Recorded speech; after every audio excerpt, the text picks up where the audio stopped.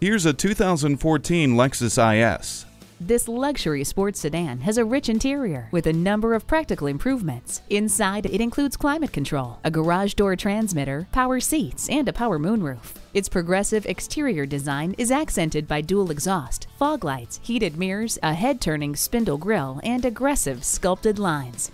If you find yourself sighing every time you get into your car, well, it's time to make a change. Indulge yourself today. At Rusty Wallis Honda, our primary goal is to satisfy our customers. Stop in today. We're easy to find just off I 635 at Shiloh Road.